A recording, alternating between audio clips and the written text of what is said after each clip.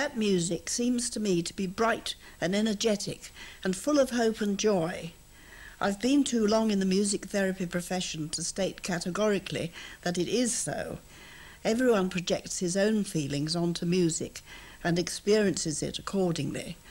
But to me, it is joyous and most surprising because it was composed by a client who was quite depressed, struggling inwardly with suicidal wishes, and outwardly with an extremely difficult job as teacher to physically and emotionally aggressive maladjusted boys. He spent his friendless leisure hours in a lonely bed sitting room, sleeping a great deal. He had severe relationship problems with his aging parents who lived out of town. In the recording just heard, he is playing the piano and I'm playing the violin. To me, his playing, whether of composed music or improvisations, has the quality of a seed. It seems packed with potential for development, with a tension that longs to expand. I've never had another client with that seed quality in his playing.